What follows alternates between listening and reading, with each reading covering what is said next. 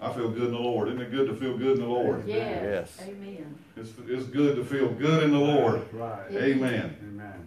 So I'm coming to you from Romans chapter 8 this morning. Just starting right here.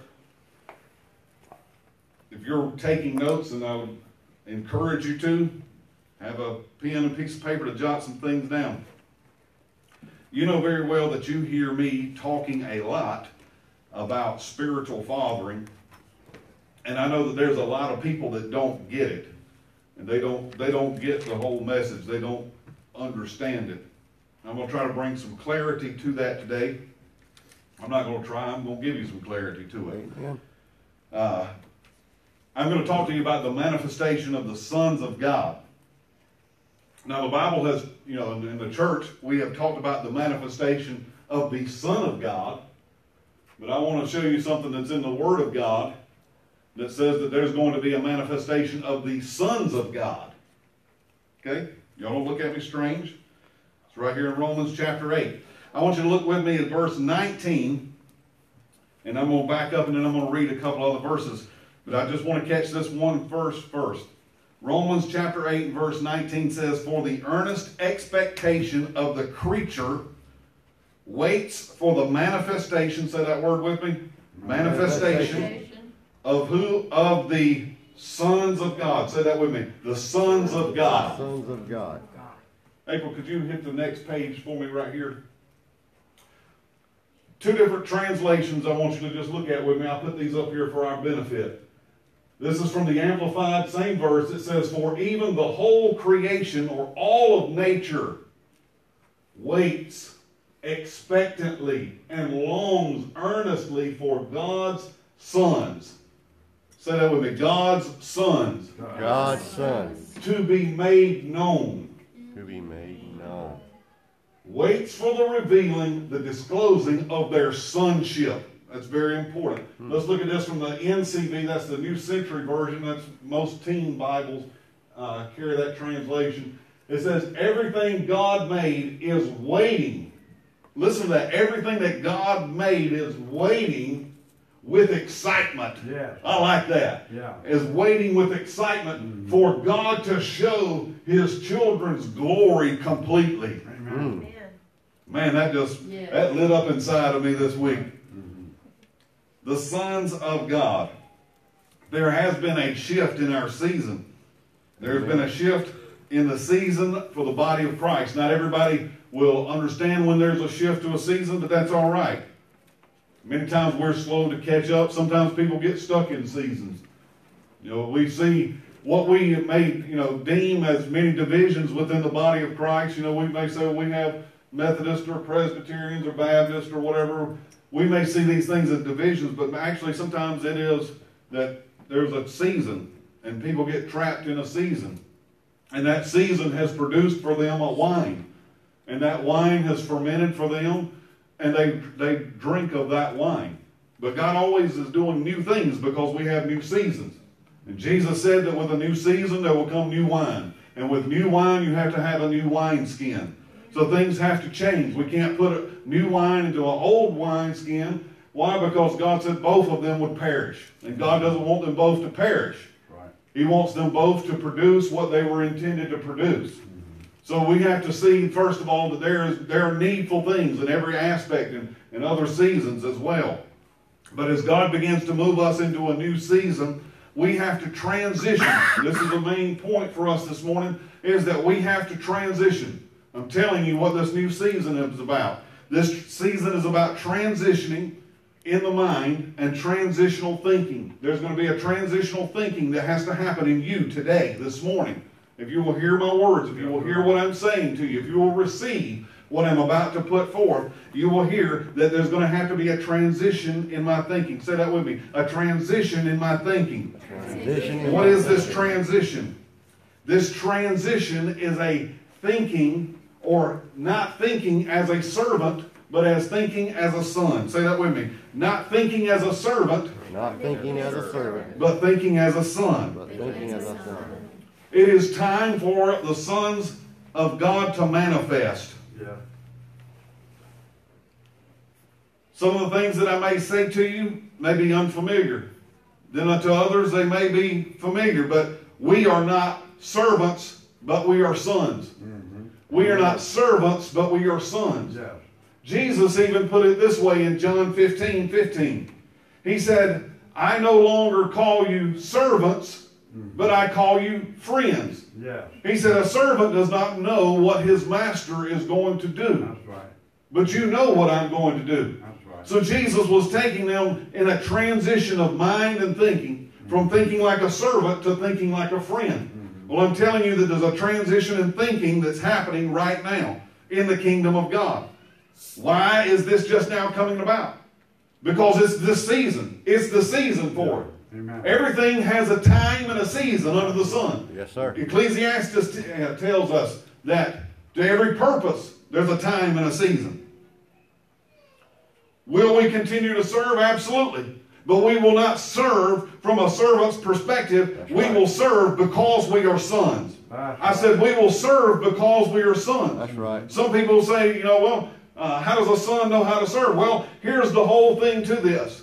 A mature son will seek to serve the household and not himself. A mature son will seek Yeah. to serve the household and not themselves. Amen. A mature son will seek to serve the household and not his son. Right. Why? Because any mature son comes to the realization that he not only just lives in the home, and he not only uh, consumes from the benefits of the home, but that he is actually an heir Yeah. to the home. There you go. There He is go. an heir to the home. Amen. Therefore, he serves the interest of the household That's right. because he understands that eventually that this is going to be his. Right. He is going to be the one That's right. that is overseeing it.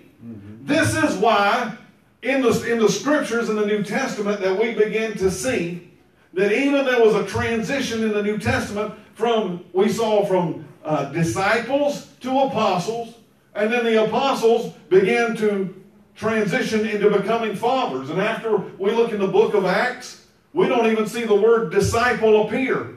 All the way from Romans to Revelation, you never see the, the word disciple appear again. You only see fathering and son, son and father, father, son. Why is this? Because there's something that we have to understand about this that we ultimately are a family and that we are the family of God. Amen. We are not strangers, we're not pilgrims, we're not even sojourners. Right. We're supposed to be so connected to one another Yeah. that we we are not just members of a body, but we are family together.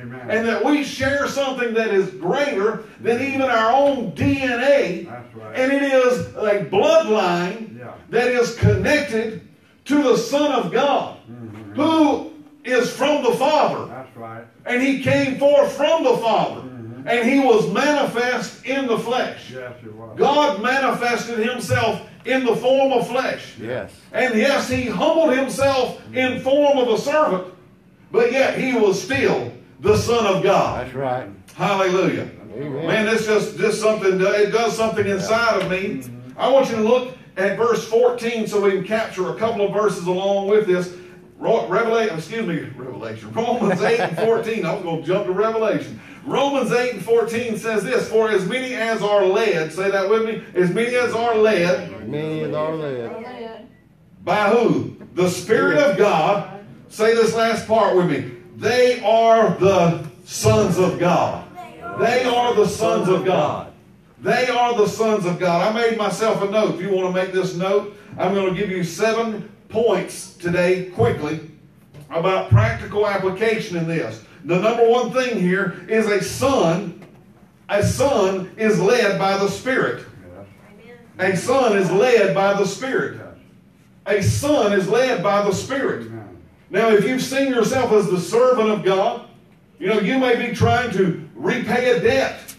You know, a, a servant could be a, a bond servant, someone who had, had gotten himself in debt. All of us had had debt as, as sinners. We had a debt that we couldn't pay. And you may have in your mind that, you know, you're trying to, to pay God back. If I just serve God enough, then maybe He'll be happy. If, if I serve God enough, then maybe He'll be pleased with me. You know, uh, none of my sons, you know, that, that's not the way that they think. When my sons come into my home, they're very relaxed. You know, some of, some of my sons came into my home this past weekend and they, they just open the refrigerator and pour themselves a drink and, and get themselves something to eat. And they don't ask, they just eat. That's right. Sons. They're sons. That's right. Amen. They're comfortable in, in the house. Yeah. That's right. Now, let's look at this word on further. In verse 15, he says, For you have not received the spirit of bondage again to fear. Thank you, Lord. You have not received the spirit of bondage unto fear. When you are a son, you're not afraid. I should have put that one in my notes. Amen. When you're a son, something something begins to click on the inside of you. If I could say this in any way to you today, because there's there's a greater understanding that I have come to, and it is in being a son that you you fear begins to evade you. That's right. My my sons are not afraid at night. Amen. They may get, they may, you know, at times be fearful, but ultimately they know that dad is home. Yeah. Amen. They know that dad's here. And dad's not going to let anything happen to me. Right. Amen. Because if somebody comes in that door at night, they're going to have to deal with daddy. I'm talking to you spiritually as well. Oh, yeah. Do you realize that when you accept your sonship, your servants didn't live in the house, they had their own house. That's right. That's right. Sons live under the roof of their father. Amen. Amen. And when you are a son, you know that daddy is in your house. Mm. And when daddy is in your house, you don't have to be afraid. Because you know that daddy's going to take care of things. He says, But you've received the spirit of adoption. You've been adopted by God, Yes, I have. whereby you can now cry, Abba, Father. We've read these verses of Scripture probably many times, but you have to begin to see them in the light of who you are as a son. Verse 16, he says, For the Spirit itself bears witness with our spirit that we are the children of God. You are God's child. Amen. You need to say that. You need to believe that. You need to think that way. I am God's child. Right. You are not alone. You have a heavenly Father. Mm-hmm. You have a heavenly Father. Yeah. I am God's child. He says in verse 17, if you're children, if you're children, then you are an heir. That's right. That should get you excited just enough right there to know that you are an heir of God. You are an heir of the kingdom of God. You are an heir of the kingdom of light. You are an heir of the kingdom of, of righteousness. You are God's heir. Thank you, Lord. If you're the heirs of God, he says, you're joint heirs with Christ. If so be that we suffer with him, that we also may be glorified together. Verse 18. That's why Paul says this. For I reckon that the sufferings of this present time. How many of you been through some present mm-hmm. sufferings? That's right. Amen. Mm-hmm. There's going to be present sufferings. Yes. That does not negate that I'm an heir. No. That's right. Just because I'm going through a time of suffering, just because I may be in a season of suffering, it never negates that I'm an heir of God. For some reason within the body of Christ, we don't believe that we can both prosper and have good success and yet be in times and seasons of suffering and great heaviness. That's right. The Apostle Peter didn't believe this way. He said that though you are in a, a season of heaviness through manifold temptations, he says, yet you are full of glory and yet Amen. full of joy. Yes. Why? Because he understood the aspect of being a son of God. Amen. Not all seasons and times will be pleasurable, but all seasons can be prosperous for us. Even in the midst of a hard time and a difficult time. Ultimately, we know this. You know, I can look at, at Joseph as an example. He went through many trials, hardships, misunderstandings, and things that, that just uh, would baffle the human mind. But ultimately, in the end, who stood?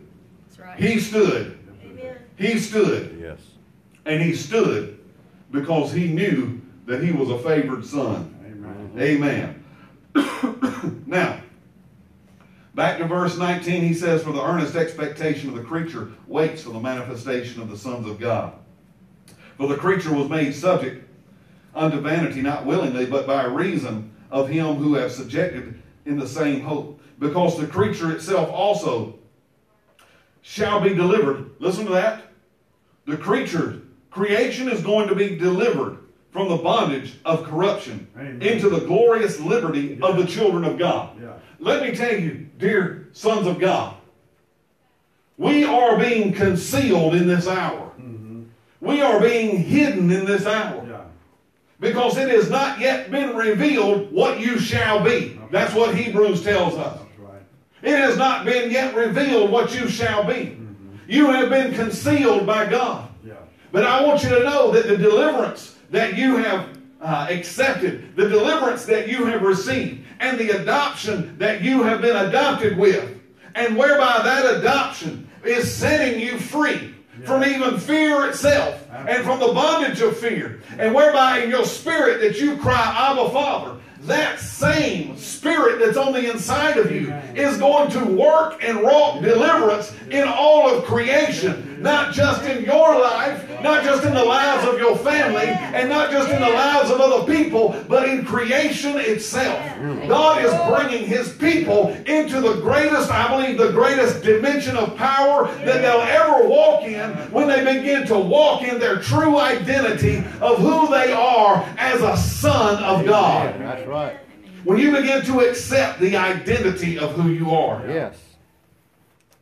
You have to begin to accept that you are a son. Amen. This word exploded in me this week.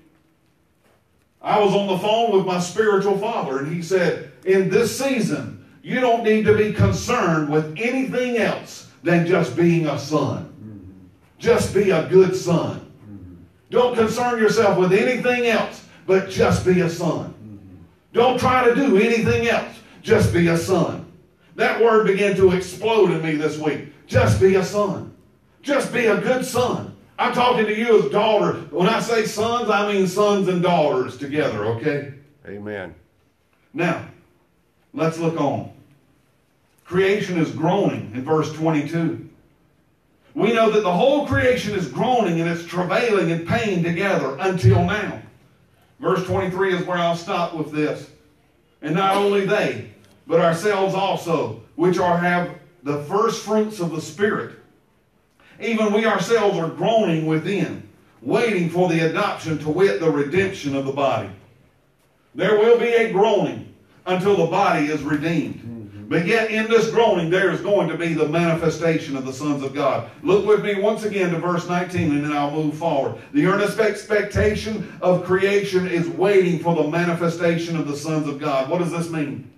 What does this mean? This word here, manifestation, is the word apocalypsis. It literally means there will be something laid bare or be made naked. There will be something disclosed and it will be truth. There will, with this truth, come an instruction. And with that instruction, it will be concerning things that were before unknown. In other words, there's going to be things that were before unknown that are going to be made known. And they're going to be known not Yeah. through some other way, they're going to be made known through you. The things of Yeah. God are going to be made known through you. I'm talking to you today because you are this important in the creation, in all of God's mind, in all the greatness and unfathomableness of His mind. You are this important that God has chosen to reveal something about Himself into creation through you. You are literally going to become the expression of God in the earth. You're not just going to be the blessed of the Lord, but you're going to be the expression of God in the earth. You're going to be the expression of your Father. That's why the Bible tells us that Jesus was the express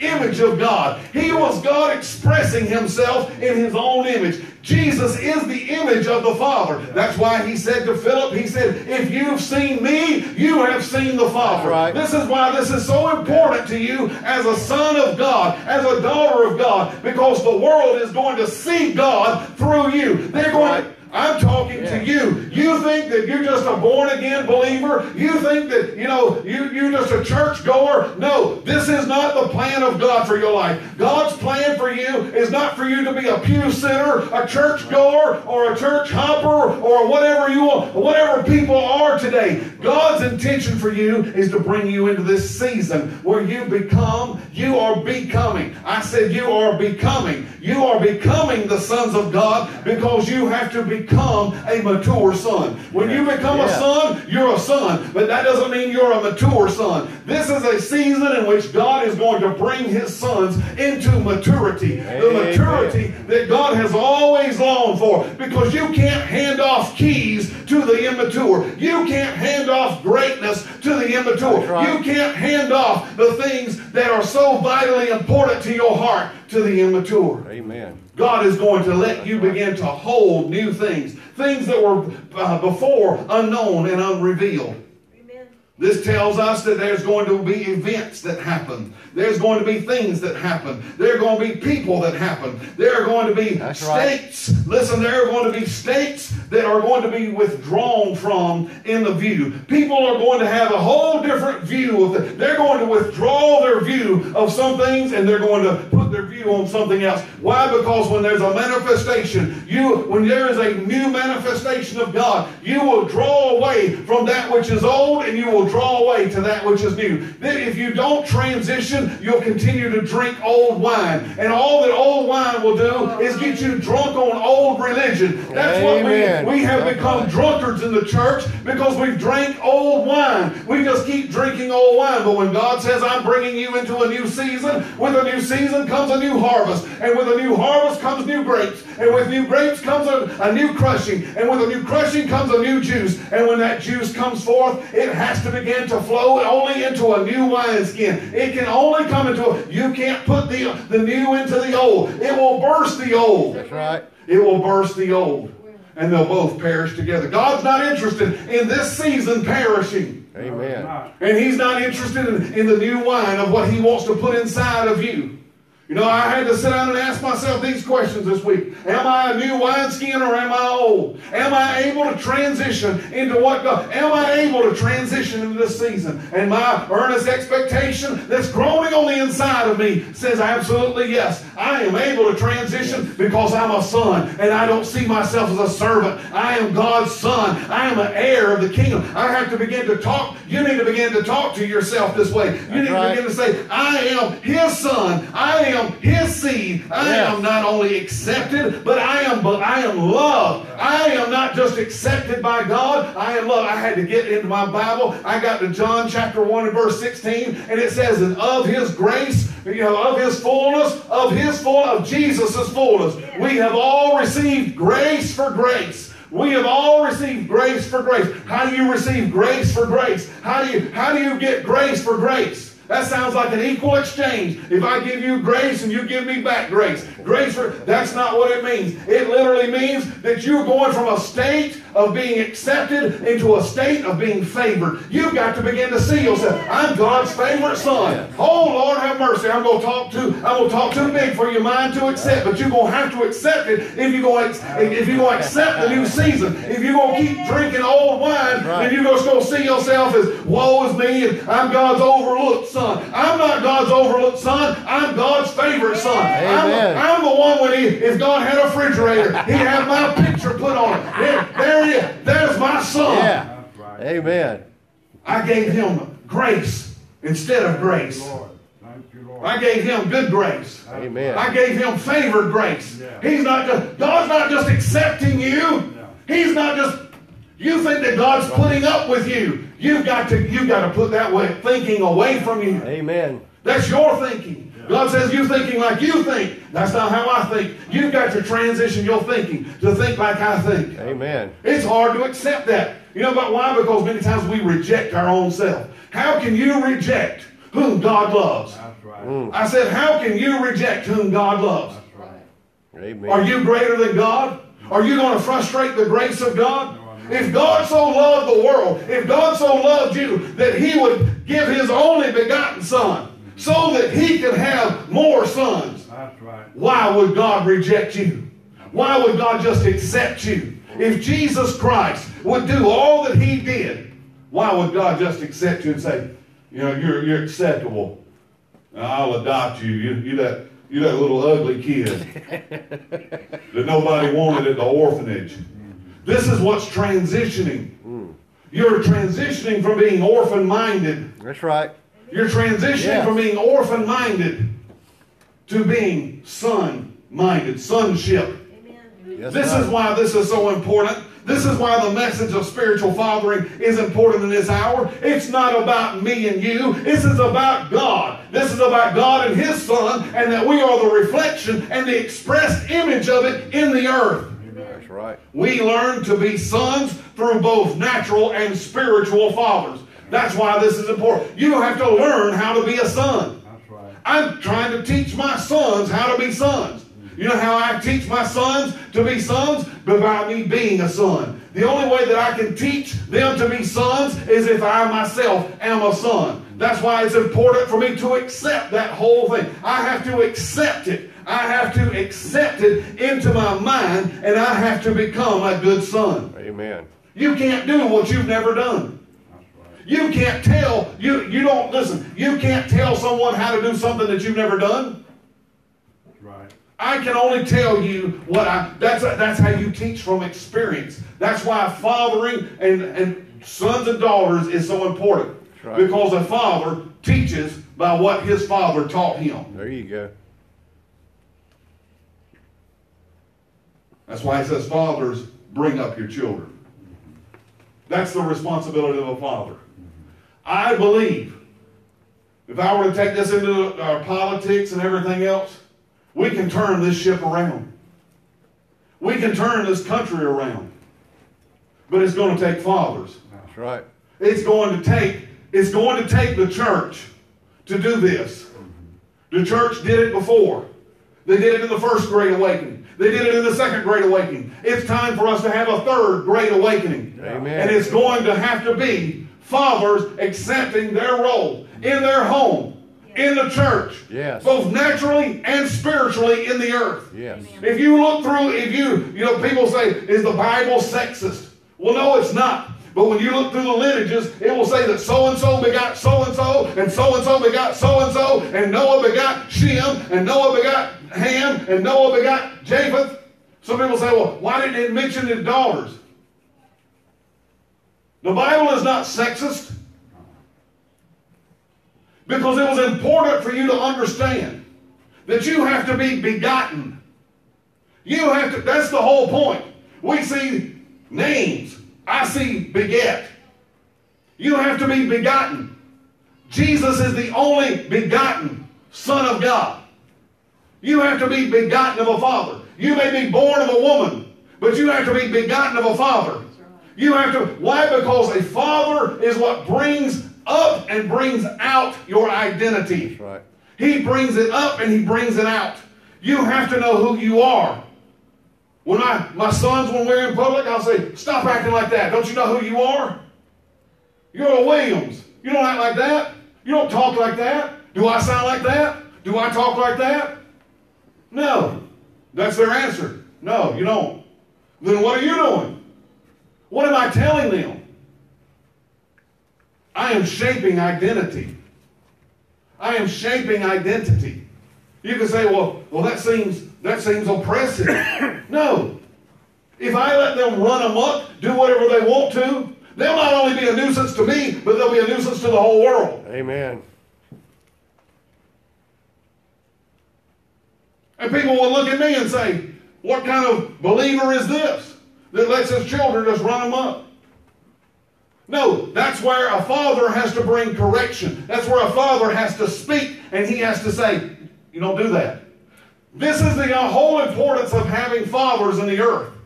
God gave fathers something that's very powerful. It's called the word no. no. Amen. You need somebody in your life that will tell you no. Yep. You need somebody. That's why I didn't do a Friday broadcast because I was told no. Amen. Don't do that anymore. Now, I wasn't told no until I asked. There's a whole lot of things that you don't know until you ask. That's why God says ask and you receive. We walk around in ignorance because we are unwilling to ask. Asking indicates that you have to humble yourself. When you don't ask, you indicate that you know everything. Right. I want to know what I don't know. That's I want somebody to tell me. That's why I'm, I'm, I believe wholeheartedly in spiritual father because you have to have somebody in your life that knows what you don't know, who does, who's been where you haven't been, and understands what you haven't understood. And you need somebody that you are accountable to. You can't be accountable to a brother. You know why? Because a brother cannot correct you. When my sons try to correct each other, it turns into a brawl. Oh, yeah. That's why we have so many problems in the church today. Because we got somebody that tries to correct somebody that's on an equal plane with it. You can't, you have to correct from above. That's right. That's why they couldn't accept Jesus. That's why the Pharisees couldn't accept Jesus. Because he was walking among them. They're like, who are you? What authority do you have? He said, well, I'll ask you a question too. John the Baptist, tell me about him. I found out this week that all you got to do is throw John the Baptist in the mix and it will mess the people up. He will, he messes people up completely because he's not in this system and he's not in that system. He's the guy out in the wilderness saying, "Change the way you think." Right. Amen.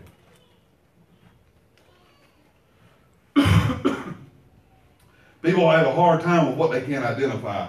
People have a hard time with what they can't label. That's right. Well, you can put a label on me. I'm a son of God. Amen. I didn't say I was the son of God, but I am a son of God. That's right. And I don't need nothing else you need to know about me. That, that I am a son of God. And I have a spiritual father and I have a heavenly father. I don't have a natural father anymore because he passed on. I mean, he still, he, uh, he didn't evaporate, but nonetheless, fathering is very important. God said the last words of the Old Testament, He said, I'm going to turn the hearts of fathers to the children and children to the fathers, or I'm going to come and smite the earth with a curse. This is very near to the heart of God. God says, if this thing don't turn around, I'm going to come and drop kick the world. I'm going to come and punt this thing away. This, this, is, this frustrates the, I said, this frustrates the heart of God. If you want to know what frustrates the grace of God, it is this very thing. Because God is a father, and that is the heart of God. God is a father. We've had, we've had earthly fathers, but we haven't understood our heavenly father. We shape the image of who God is by a father. There's people that they can't accept God as a loving, good God because they've never had a good or loving father. That's right. They don't have the image of a proper father in their mind. Amen.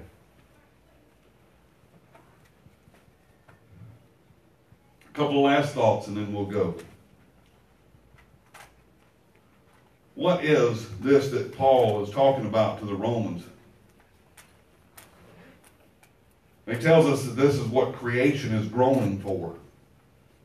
Creation is creation is groaning for this.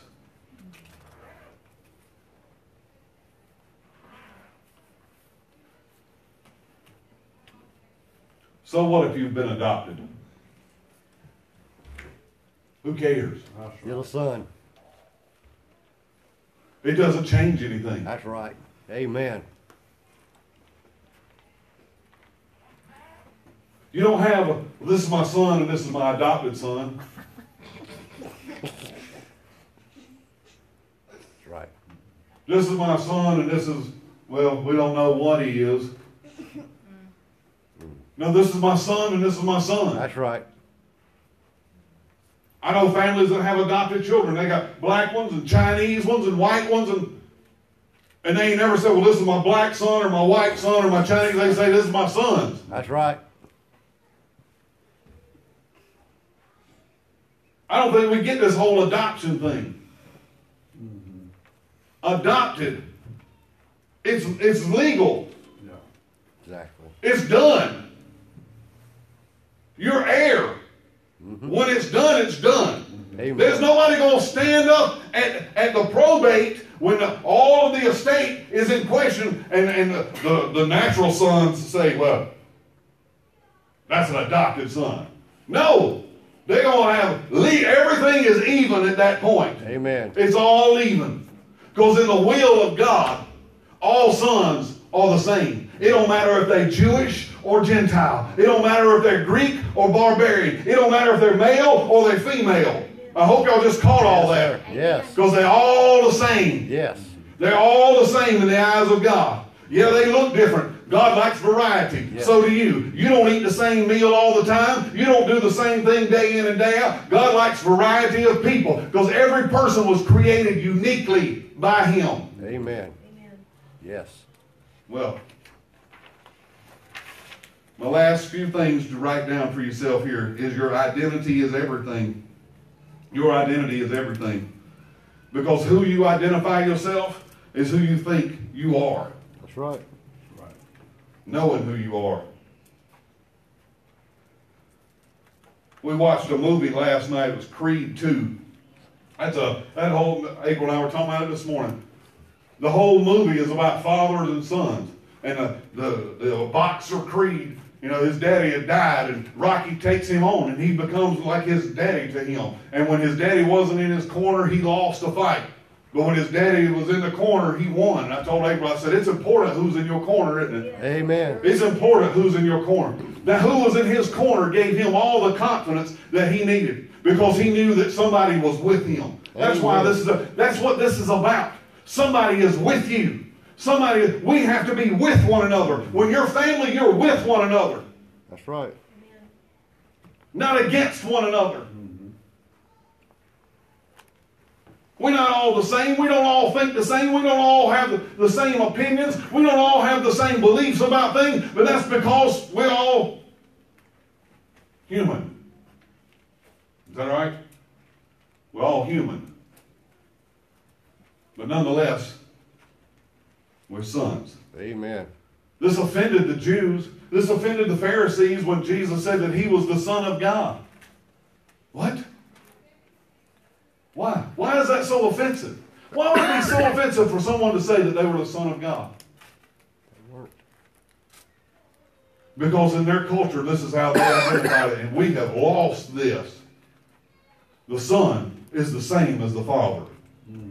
He is the same in nature and character. Yeah. He is the exact same. He is a replication of. That's why Jesus said, if you've seen me, you've seen the Father.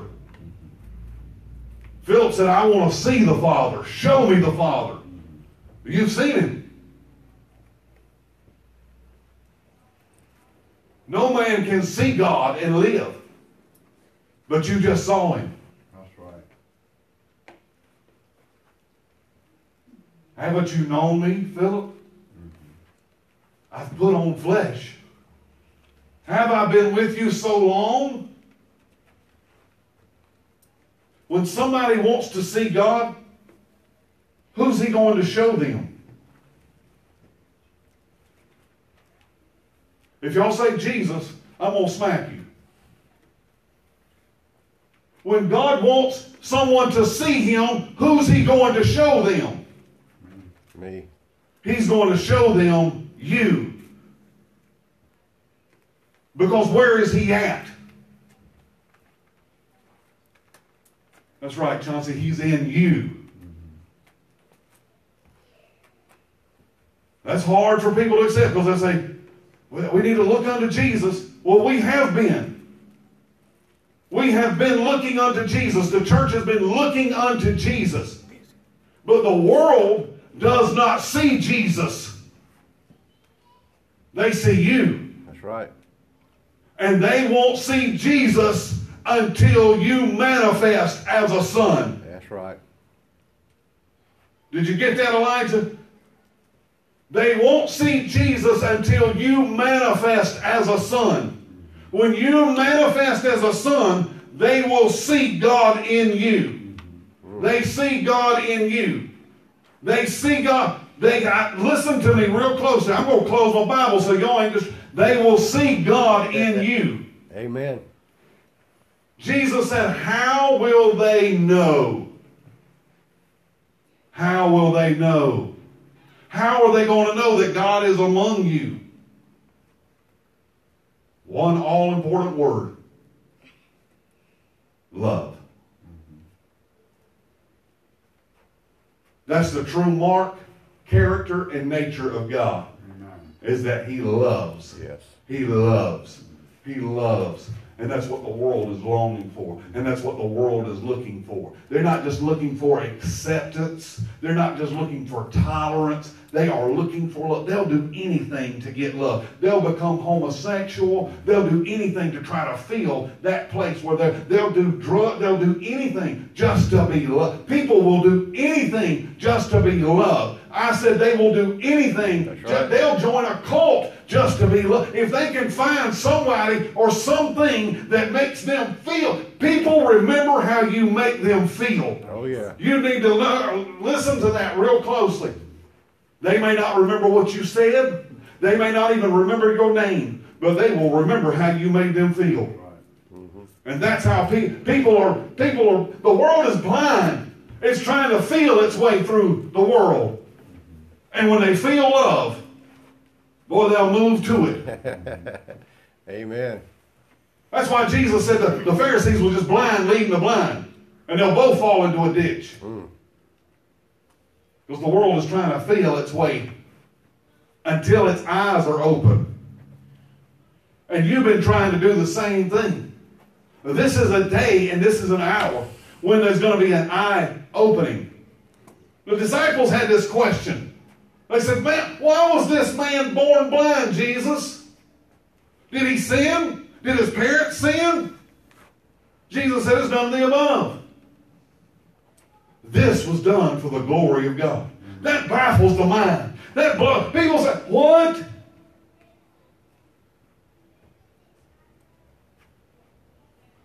Many people have been born into the kingdom blind. But God says that you, the only way that you can ever see the kingdom is that you have to be born again. That's right. There is an aspect, I'm telling you right now, there's going to be an eye opening. I speak it over you. I speak it to every person that's listening to this by Facebook. There is an eye opening, an awakening that is coming to the sons of God. That, that you are a son. Listen to it. You are a son. What I'm speaking to you, they are not words. This word is life to you. That you are a son. Receive. You are a son. You are a son. You Yeah. are God's son. Yeah. You are God's loved. You are God's beloved. You're not just accepted, you're the favorite. You are a favored son. You are a favored son. Let that ring in your spirit. Let it ring in your ears. You are favored. God has favor upon you. He has set his favor upon you. He is favoring his righteous cause. He is favoring you. Amen. God is favoring you. Some of you, it, you, you got that unlovable spirit that just wants to resist that. And God says, No, no, you are mine. Yes. You are part of my family. Thank you, Lord. You are part of the family. That's why it's so important for us to receive and to have a spiritual family Yes, sir. with a spiritual father that has an understanding of what is going on. I can trace spiritual lineage now. I have a spiritual father. Who has a spiritual father? Who had a spiritual father? I trace mine all the way to Oral Roberts. That's as far as I know. Y'all probably don't know your great great great great granddaddy either. But I can trace it. I can trace it. Because it's spiritual DNA. And it comes down the line. It comes down to you. What does that tell me? Man, there's going to be, I've seen in my family now, my, my spiritual family, I've seen healing. I've seen wisdom. I've seen impartation. Mm-hmm. What does that mean? Those are the things that are coming down through my lineage. I become an inheritor of those things. Yes, Do you hear what I'm telling Yes. you? This is why people people will pay conference fees and, and run over here and run over there and do this and try and trying to get a, somebody to teach them how to prophesy. If you are the son of a prophet, who's the son of a prophet, there's always a prophet's reward. Mm-hmm. Amen. Lord, I'm going to drop this bomb on you right here. You got to receive that. There was a widow whose husband was a prophet. Her husband had died, and she had no way of living. She had no sons. Elisha came to her, and she asked him if she could, can I get some help from a prophet? He said, go and get every vessel you can and fill it with oil. And when those get, just keep pouring and keep pouring and keep pouring. Listen to me. There's always a reward Amen. that comes down. There's always a roar that just keeps, it keeps coming and keep coming and keep coming. There is a spiritual lineage that begins to fall down to you. Are you with me? Listen to what I'm telling you. If I can sit here and trace my spiritual lineage now, that's how Isaac received blessing from Abraham. That's how Jacob received blessing from Isaac. The blessing began to multiply. Amen.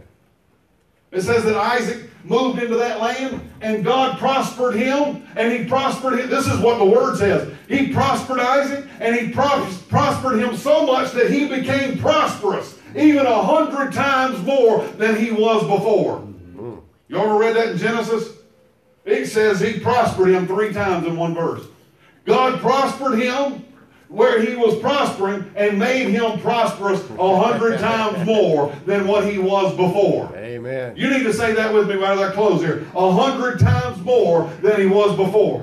Why? Because God was honoring his word to Abraham. That's right. When God speaks a word to your father, that word is good for you too. When you have a lineage, it's good for you.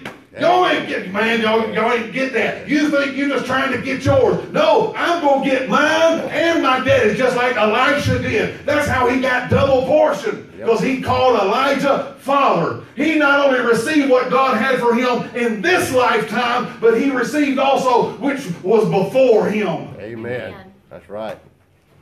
My, my, my, my, my. Hallelujah. Mm. I ain't gonna just receive mine. I ain't looking for just mine.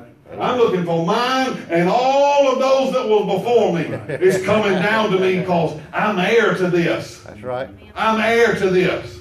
And I'm not the only heir. I got brothers that are heirs to this. Love you, Arlen. Amen.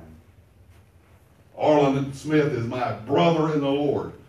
He's like my big brother. You know, he's like he's my big brother in the Lord.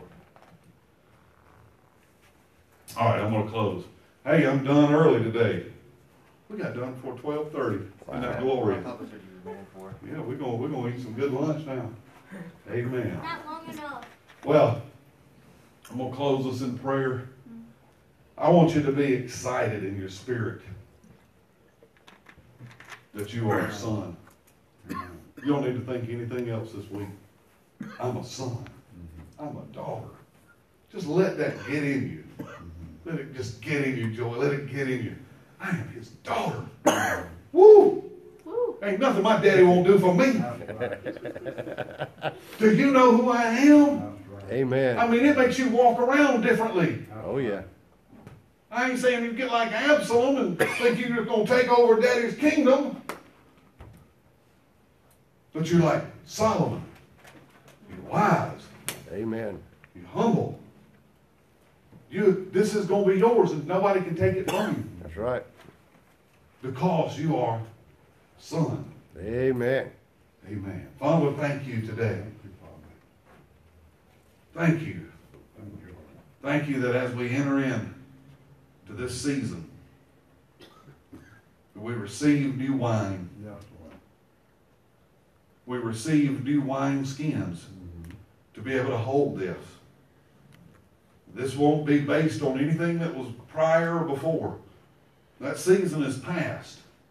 That season is over, It's gone. Thank you, Lord. We drank of that wine. Mhm. But now it's time for new wine and a new season and a new harvest. It's time for the new. Yes. It's time for the manifestation of the sons of God. I can sense just creation groaning, saying, Come forth, be revealed. They want to see. They want to see because they know that their deliverance is held within this. I thank you for that, God. That we hold the keys, not only to other people's deliverance, but also other people's adoption. There's going to be people unlocked because of this. I thank you for that. They're going to see you in us. Mm-hmm. It's going to finally be revealed. Mm-hmm. It's going to finally come forth. And I thank you for that today. In Jesus' name. Amen. You are a son. Say that with me. I am a son. I am